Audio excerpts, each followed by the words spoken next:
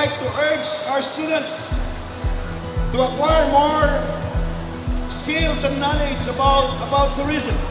Kaya mga kumukuha ng tourism, you have to study hard. I just want you to know that in Mabalacat government, one of our major programs is education.